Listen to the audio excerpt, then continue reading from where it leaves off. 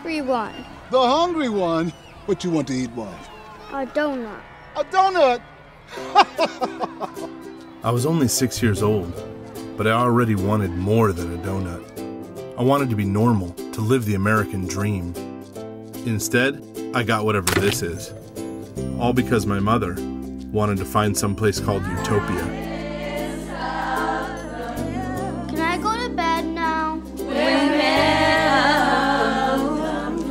We hit the open road in 1980.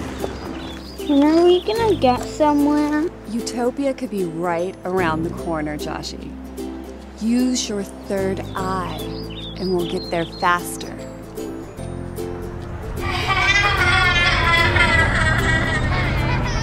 We hitchhiked for five years. My mother was looking for a place to call home. Here! This could be our home. This is our home. And I was looking for a father. Hey! A donut. Sir, Why is he calling you sir? because he respects me.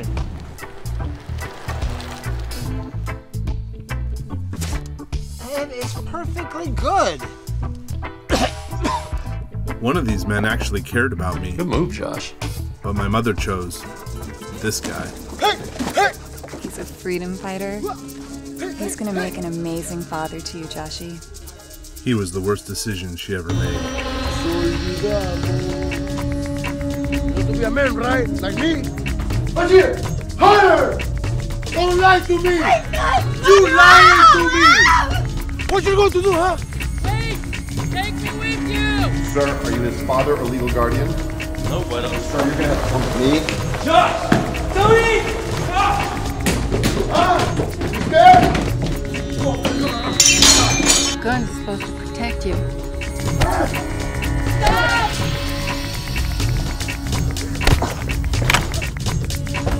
That's all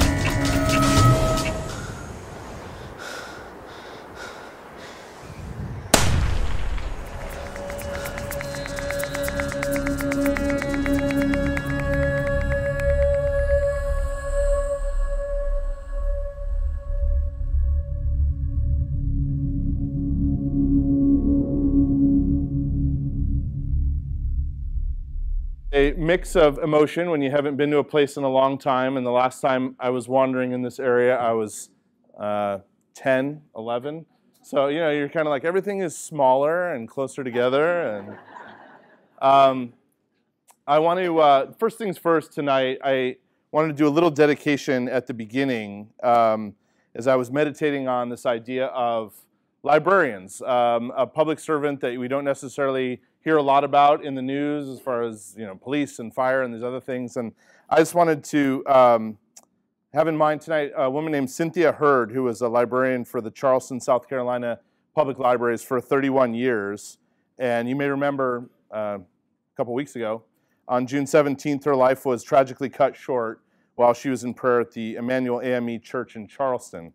Um, I don't know a lot about Ms. Hurd, uh, but like many of you, I was inspired by her life story and her public service as a librarian and moved by the tragedy of her death. So I want to dedicate my remarks tonight and our conversation this evening uh, to her, and hopefully uh, her memory can be a blessing for all of us. So, um, with that out of the way, um, I want to talk about, instead of necessarily going over the book, which hopefully many of you will read through our wonderful library right here, or our local bookseller who's in the hall. It's also okay to buy the book. You don't have to check it out. Um, if it's on over 100, once the hold gets over 100, you can buy a copy. Um, so I wanted to give a little background about sort of how this book came about. Um, and then the second aspect of it, which may take me a while given the number of wonderful personages in the room, I also wanted to have an opportunity briefly to, to give thanks. Um, my day job right now is I'm the in-house counsel for the Port of Oakland. We have a seaport, we have an airport. If you ever flown into Oakland International Airport and gotten into a fight with TSA, I am aware of you. Um, and my airport director always says, you know, how come no one thanks us? There's always like this litany of the escalator moved too slow and my son's crock got flushed down the toilet and it's your fault somehow or whatever it is. She said, How come no one ever gives thanks? So I did want to uh, spend a couple minutes tonight giving thanks, although I can already see from this room that I, we might be here all night if I had to do that for everyone who had a positive impact on my life. Um, so the genesis of this book uh, basically begins with my wife Leah, who got a shout out earlier and I think is hiding there on the corner. um, so Leah and I met in Berkeley, California, and for those of you who spent time in Berkeley, um, if you're doing well, you can't show off. You can't like buy a new Mercedes or get a swimming pool installed. That would be totally gauche, totally inappropriate. So you have to have more subtle means of one-upsmanship, and you go over to someone's house, and you know they're using, making you some tea, and you say, "Oh, I see you guys are still using tea bags." I use a loose leaf herbal oolong that a Burmese tribesman gave me when I was doing a residency as a folk healer there for a couple years, and uh, you kind of you kind of subtly imply that you're more cultured, more sophisticated. Um, so I met I met Leah, and um, we went on a date, and she asked me the question that I've always struggled with, like a lot of the children of the counterculture or children of the military or anyone who moved a lot that weird question, which is, where are you from? And, you know, usually you give like the kind of the varnished, oh, I'm from like Washington State or, you know.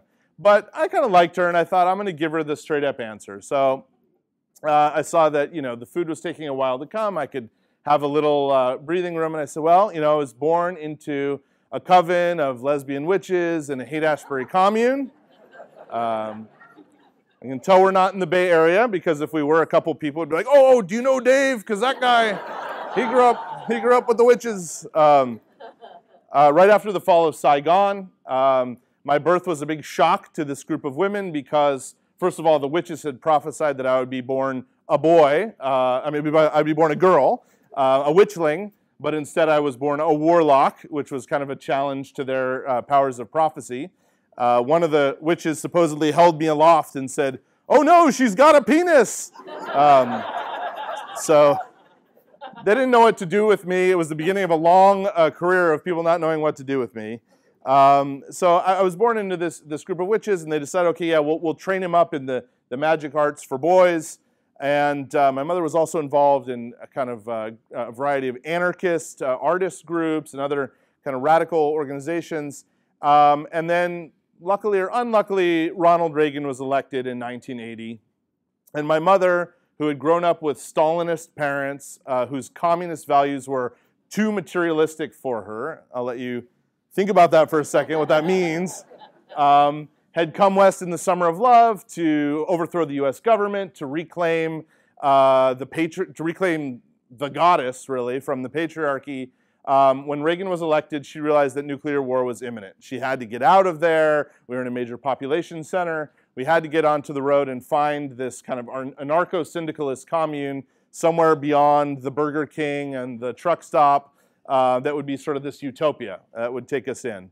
And as it turns out, we kind of eventually made it there when I was 12, and a couple of my commune mates are here in the back. But it took us a while to get there, uh, and we spent some time in Stanwood on the way. But um, so my mother, we left the city, we began hitchhiking across the American West, and uh, much to not your surprise, my mother didn't find this group of, of you know, conscious, rural, radical anarchists that she was looking for. She kind of found like a bunch of um, string of, for me, unfortunate male partners that she kind of hitched up with along the way. She had been attracted to women really for uh, political reasons, she told me. Now she was, she was attracted to, to men for chemical reasons.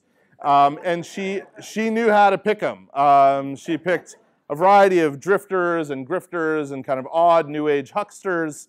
Um, and by the time I was nine, we had hitchhiked for thousands of miles. We had lived on communes, cults, uh, compounds, teepees, tents, trailers, buses, vans, and my wife's favorite, uh, ice cream truck. We lived in an ice cream truck for a while.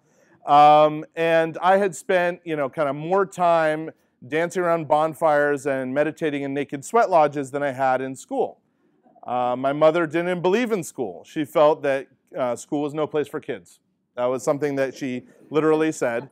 Um, school taught competition and capitalism and violence, all of these awful things. And she was going to teach me herself everything that a growing boy needed to know, whether it was poetry or clairvoyance or how to fashion a tampon out of an organic sea sponge. She was going to teach me. So this was this was my childhood, um, and uh, I told all this to Leia, who was duly impressed. um, she had been she had been outclassed, um, and she knew to, to get in to get this kind of sophistication, she would have to marry me. So um, we got married, and she said, you know, you had a really amazingly weird childhood. You have to write this down, and you keep bringing me these pieces of fiction or these kind of long form uh, journalism pieces that you're writing, and they're okay. Um, but you should probably continue filing them in this drawer because I really want you to write the real story of your childhood. And she pressured me, and I thought about it, and I was like, you know, I, I would do it, uh, but there's a second act to my childhood. And the second act, I don't even want to tell you about it right now because you might not want to still marry me if I told you about it. I'm, I'm uncomfortable, and uh, I don't, I don't feel, I don't, I don't want my, uh, uh, my name to be associated with these, with these things that happened to my mother and to me, and, and I'm not ready to talk about it. And Leia very admirably said, okay, fine, I can see this is difficult. We don't have to talk about it, and you don't have to write your book yet. Um, so I graduated from law school. I was 25 years old, and I had this amazing offer. This big corporate law firm was like, hey, we want to pay you all this money, uh, which was amazing to me because my prior work experience had been in college working as a janitor to get through. I was sort of like the Matt Damon character in Goodwill Hunting, um, except instead of solving the equations, I would like mess with them so no one could solve them. Because um, despite Mrs. King's best efforts, I was never a math genius. Um, so um, that was that was one job, and the other job I had on my resume was working for, and I'm glad to see it's still standing for Twin City Foods, um, harvesting peas, driving a a pod stripper the size of a house that went at one half of a mile per hour. So those were my jobs. My friend Dorothy hooked me up with that job. Thank you. Uh, I may be permanently deaf from the engine, but um, so those are my those are my, my jobs, my work experience. This big firm hired me. They bring me in there. They've got this immaculate white carpet. If you spilled something on the carpet, like a guy would run out and bleach it and clean it up. And I had my own secretary in a corner office, and she First day, she kind of closed the door. She's like, I don't mind. I'm old school. If you want me to do your dry cleaning for you, I'll do your dry cleaning. And I had this moment of panic because I didn't know what dry cleaning was. and, um, and so I, I think I told her, yeah, you know, I like my dry cleaning extra dry. and uh, she kind of shot me like a confused look and walked out. Um, so I was feeling good for a kid who'd grown up with a lot of deprivation and you know lived in, in a hot tub for part of the time. I was like, I'm you know I'm part of this big law firm. I'm representing these Fortune 100 companies. I'm really living the American dream, um, and that lasted for about three months. Um, and I guess my roots at that point kicked in, and I was like, you know, I don't I don't really care about what I'm doing. I'm suing this company for this $50 million that neither company really needs, and I'm bored essentially. Um, and at that point, a, a, colleague of mine came by and said, Hey, um, do you want to help get a battered woman out of prison? And I was not a question you hear every day. And I thought, um, Yeah, I want to do that. That sounds good. Uh, let's do that. And California, this was 2002, had just passed a new law which basically said, Hey, we all recognize that women who are in these very abusive relationships uh, sometimes stand up for themselves, sometimes strike back at their batterers. And it's not a cold blooded, calculated first degree murder. It's something less than that. It's uh, maybe a voluntary manslaughter, maybe they should be acquitted. But what about all these women who were convicted before California recognized this battered women's defense? What about all these mothers and grandmothers who are in prison uh, who never got to tell their stories?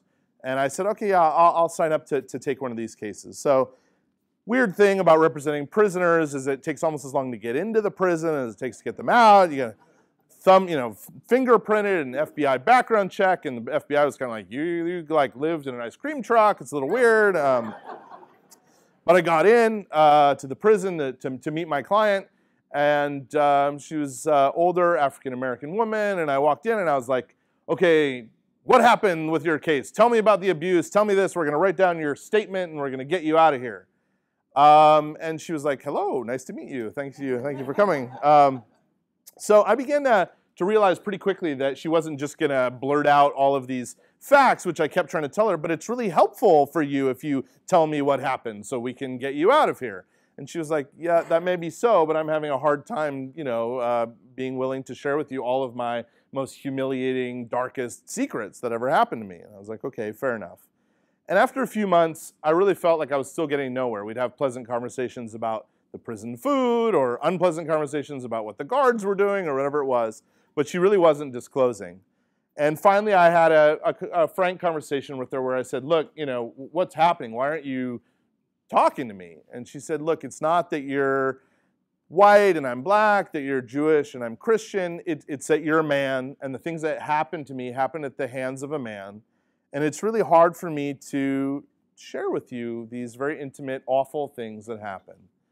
And I was sort of stumped. I didn't know what to do at that point. And I said, Well, can you tell me something maybe that was funny, as strange as that may sound, in this relationship that you were in?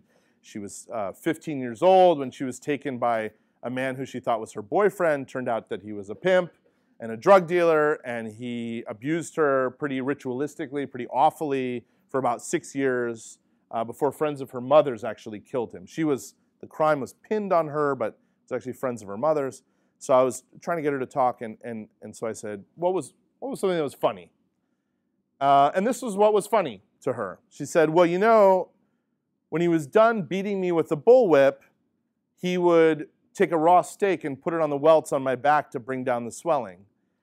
And it was funny because he was both beating me and healing me, and because it was dead meat, and yet it was somehow bringing new life to my flesh. Um, and I had, I guess, maybe a flashback, and I broke right through that formal attorney client relationship. And I said, Oh, yeah, I forgot about the raw meat. Um, how do these guys learn about the raw meat? Is there like a school where they teach you when you're done beating someone, put the raw meat on and it'll bring the swell? You know, no one will know. You know, where does that come from? And she looked at me and I was like, you know, and, and it was funny for me too, because we were living in this little place called Stanwood, and uh, we were vegetarians. I couldn't even eat the, the the meat in the free lunch at school, because to do so would have been murder to kill or eat an animal. But it was somehow okay for my stepfather to beat the heck out of my mother and then put a stake on her face to bring down the swelling on her cheekbone. And I told this to my client. Her name was Deborah. I told this to Deborah, and she gave me this look like, oh, now I see why you're here. You're not here because you're this altruistic lawyer who's trying to do pro bono for the good of the public. You have some personal connection to my story. And I, at the time, had no consciousness of that at all. And sort of, she began interviewing me all about who was this, how did this happen? And I was very impressed. I was like, she's a really good lawyer. She's interviewing me so well, and I'm, she's getting all this information out of me. Um, she later said that she felt like we were a couple of war veterans who were sort of rolling up our sleeves, literally and figuratively, and comparing our scars and talking through these things. And it's all in the film Crime After Crime. Um, which in full disclosure uh, is streaming on Netflix, so you can you can get it there. You don't have to buy or rent a copy, um, but you do have to have a Netflix account. Um, it's otherwise available. So um, I'm interview- I'm still representing her. There's now a film being made about it. She was convicted of murder more than 20 years ago, but tonight attorneys fighting for a battered woman's freedom say there's a lot we haven't heard about her story of abuse and desperation. Debbie Peagler was 15 when she first met Oliver Wilson. He came across as charismatic and quite charming. I thought, hmm, he's kind of cute. Oliver was a hustler. You can pimp your mama, you can pimp your sister, you can pimp your daughter. You can't have no sympathy towards anybody. He was just kicking me and kicking me and kicking me. And I was like, okay, okay, I promise, I promise, I'll do it, I promise, I'll do it next time, I promise, I promise. Just please don't hit me no more, please don't hit me no more. Debbie's mother suggested to Debbie that she let Ramon Sibley and little Timmy Lively make Oliver leave her alone. But I didn't want nobody to kill him, but I wanted somebody to beat the hell out of him. And she told me her story, and I was able to use that story to work to get her out. And ultimately, her case went on and on for seven and a half years, and it became this big precedential. And uh, my wife is bringing up this idea of the book again. And this moment comes when I this this film that's going to go to Sundance, Oprah Winfrey, they want to interview me about that experience because they know, come on, what motivated you to take this case, you know? And it was wearing a little thin, like, well, I just like to do good for people in prison every once in a while, you know. And they were sort of like, what's what's motivating you? And I was really having a hard time telling my story. And at this point, I'm no longer sort of this this kid who's not in control of things. I'm this lawyer, and I have a reputation. And, uh, and I really had a long night, kind of thinking, am I going to do this interview? And I talked to Deborah, who basically gave me the kick in the pants that I needed. And she said, Look, a lot of people think that this kind of thing can happen to a poor black woman from South Central LA, like me, and it happened to me. But who would have thought that it could happen to someone like your mother? Your mother was the least likely victim of domestic violence, the least likely. No one could believe it. And if it could happen to your mother, it could happen to anyone. Um, so that was, that was Deborah's challenge to me, and I, that motivated me to go ahead and write this book. Um, and that second phase, that second act of my childhood, was this absolutely stunning transformation where my mother, who had brought me up and taught me not to call her mom, not to call her mother, because that would have limited her, that would have been sexist to pigeonhole her into the role of a mother. She was a full human being with all that that entailed. Her name was Claudia. I was to call her Claudia, so I called her Claudia. Um, this was a woman who felt that the word woman should be spelled with Y's because a woman was more than a man with a womb appended to it. Um, she told me about her story, not history. Why should it be his story? It should be her story. So my mother was a true radical feminist. She actually, in interviewing her, was fascinating. Actually belonged to a women's secessionist group who actually wanted to secede from America and have a woman's republic. And once they figured out the whole reproduction thing, it was going to be amazing. Um, but they never they um, they never did figure that out. But um, I'm sure when they do, my mom will be back there. But um, so th- this was the woman who, who was raising me. And, uh, and then in my, in my own mind, I was like, wait, and then you married like this violent alcoholic? Like, what's wrong with you? Um, and in interviewing my mother, I realized that I was carrying a lot of the baggage about domestic violence, a lot of the mythology that most people kind of carry um, which is, of course, the stunning realization that women don't marry violent alcoholics. They don't go down to the bar, which used to be Bob's Grocery over here. I don't know what it is. But they don't go down to the bar and say, you know, I'm single, I'm made up. Is there anyone here who's got a severe drinking problem and an anger management problem? Because we should get together, you know?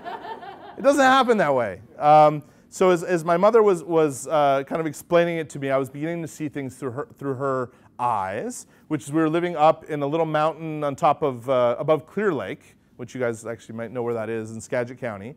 And my mother was very involved in sanctuary work. Um, and in fact, um, her friend Tammy Kirby, whose daughter is here, was involved in that work too, of helping, and others may have been, in helping Central American refugees who are essentially the victims of U.S. foreign policy in Central America um, get asylum uh, because they were coming to the United States and their families had been tortured and all kinds of of awful things. And my mother, in that capacity, met a man who was 10 years her junior, very swashbuckling, ripped, as we would say, with a red headband and wild Che Guevara hair.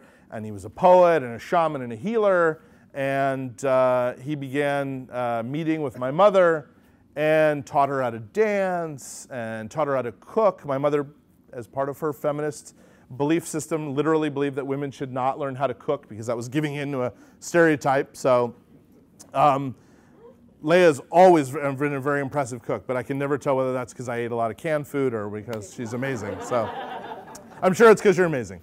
Um, so my mother, you know, he was teaching her how to cook and these Central American dishes, and he began to tell her things. And my mother had thought of, thought of herself as sort of the frizzy haired Jewish girl with big glasses who no one wanted to ask to the dance. And here was this man, this, this uh, apex of manhood, who was saying things to her like, Sometimes I think the reason that my family was massacred, the reason that I was tortured by the death squads was so that I could meet you, Melinda, the most beautiful woman in the world. I love you so much. You know, my mother was taken in by this.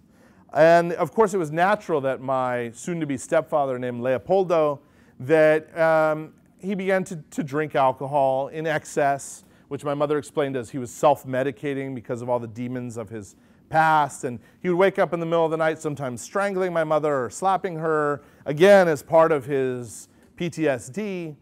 And my mother was determined that we were going to help, we were going to help heal this man.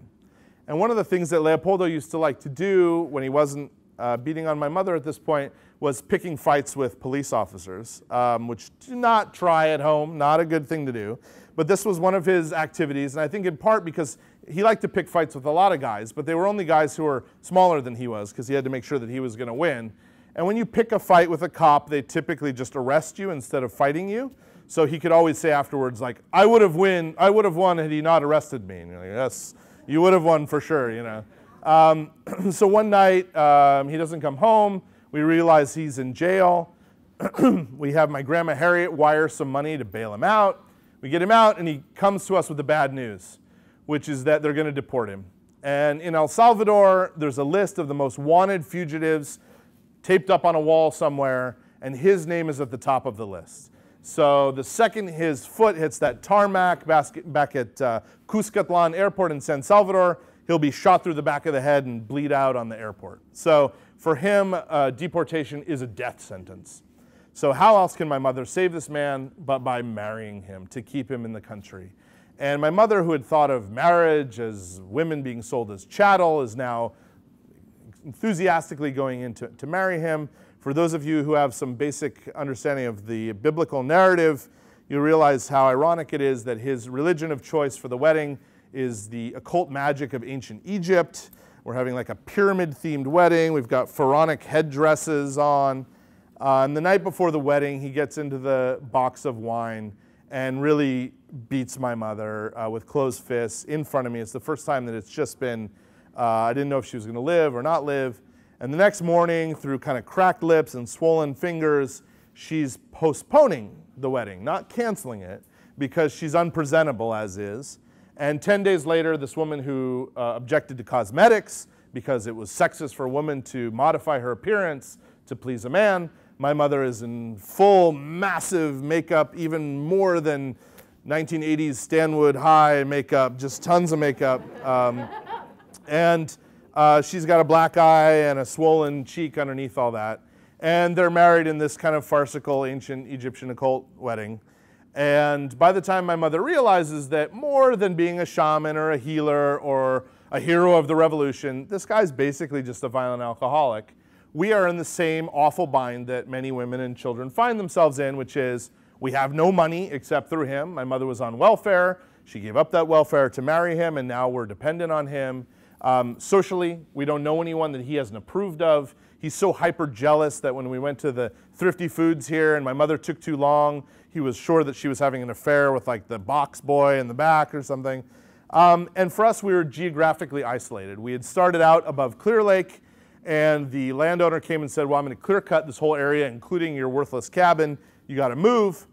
Uh, we were friends with a guy named Crazy John at the time who, as his name would indicate, had some mental health issues.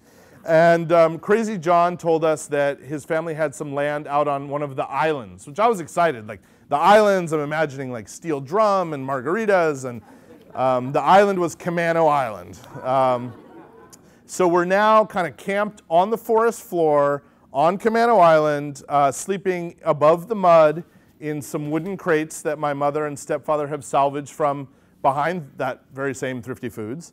And we're sleeping there, and uh, it's starting to rain. And my stepfather is appropriately enough, of course, building us a pyramid to channel the blue healing energy of ancient Egypt. But the rains are coming, and he's working with uh, no power tools at all to make this pyramid.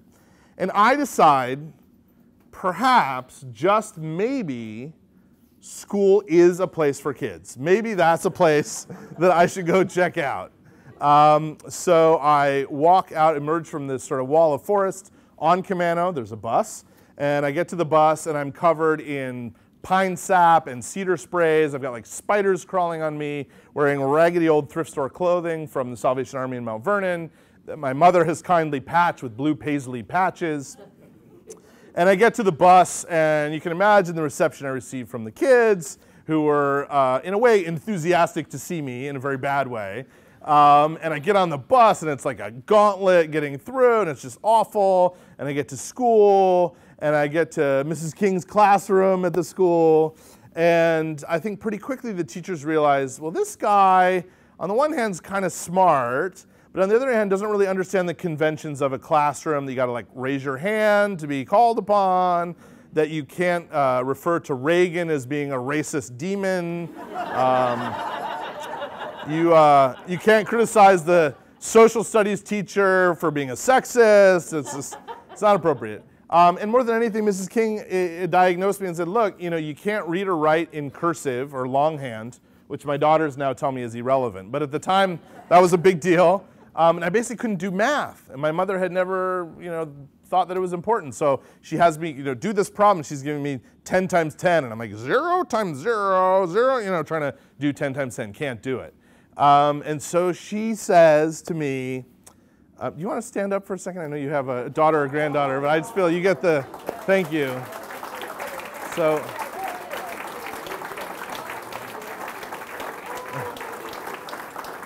I recognize you. I, yeah, so that was my, maybe not, but you, but you go by Rose, Rose, Rose, Rose King. So um, Mrs. King was my sixth grade homeroom teacher. I don't know if you remember. I had less facial hair. I was like 900 pounds smaller. Um, so she gets in, and I remember this conversation, and she says, "Look, you know, I'll work with you." I'll stay after school with you and tutor you because I can see that you're smart, you're behind grade level, but you don't need to go into these remedial classes that they want to put you in. I can, I can work with you. And if you'll work with me, I'll work with you. It was sort of this awkward thing where I was like, well, but I have to get back on the bus to go back over the bridge to get to Camano. And she said, well, you know, your mom can pick you up late. And I was sort of like, well, like the car, my stepfather crashed the car. And then she said, uh, well, let's, let's call your mom. We'll go to the office, we'll call your mom, we'll figure it out. And I was like, well, we don't have a phone, running water, electricity, address, house. So I, I, think you were, I don't know, you were just kind of like, okay, let's figure out how this is going to work. Um, and so, and, but it really touched me. That was a moment that it was, it was the first time, it's my first experience in, in, in a real school, but also my first, the first time that someone who had no business caring about me was like, I'll stay after. And even then, as a sixth grader, I was like, I'm pretty sure she's not going to get paid for that. That's like an extra thing that she's going to do, and that's so sweet of her. So I was really that really touched me. Um, and luckily for me, or uh, luckily for me, my stepfather then Leopoldo, he then uh, gets drunk one night and takes out a knife and threatens to kill Crazy John and his then pregnant girlfriend. Which at that point I realized, you know, Crazy John isn't so crazy anymore. We're the we're the crazy ones. Um, and we end up getting a little house. And, and so Crazy John says, I'm going to call the cops. He's sane enough to know that he can threaten that and that that will scare my stepfather. So we end up moving a few blocks from here in that direction into this little uh, house in like a fourplex with these three kind of migrant families who are struggling to get by, and we're living in this funky little apartment. And I go to Mrs. King and I say, Guess what? I can, I can get some of that free tutoring you were offering now. That would be great. Um, so she said, Great. And she brought me up to grade level. I don't know how many hours it took. I don't remember exactly how far behind I was, but she tutored me, and the next thing I, she was teaching me literally how to read and write in longhand, and um, really turned my life around. So thank you right there. That's one solid thank you. Um, Hi, I'm Rose King, retired teacher from Stanwood. Uh, taught at Stanwood Middle School, sixth grade, and so it's a, it's always a big change from elementary school when they come into middle school. Most of them come in a little scared. Josh came in knowing so much about the world, so much about philosophy that you knew right away this was an exceptional student. Uh, he was just missing some of his basics uh, penmanship, um, multiplication facts, uh, spelling. So right away, I knew this kid was going to go far. Uh, I needed he ne needed to brush up on some of the basics, and so I offered to have him stay after school. And unfortunately, couldn't at first, but they moved into town. I, I Josh came in he was not an ordinary student. He didn't wear the clothes that were popular in the 80s. He was kind of a little nerdy looking guy, uh, wearing his little sweater and pants that weren't quite fitting right. Uh, but he, uh, he, was just exceptional. I just, I just loved him. I, I, I, I did what most teachers do. You give and you give because that's what teachers do. I don't think I, I I don't feel any exceptional thing about that because he was willing to work. Um, I, I remember when he was working so hard on his multiplication, and finally he figured out you just had to multiply, you just had to memorize these multiplication facts because he was adding 8 plus 8 plus 8 plus 8. It was taking him a long time to do his math. And I said, Josh, you're smart. All you have to do is, is memorize 8 times 4 is 32. And, you know, it was just the light bulb came on. It was one of those light bulb moments that um, you just, all of a sudden, he realized how easy it was for him.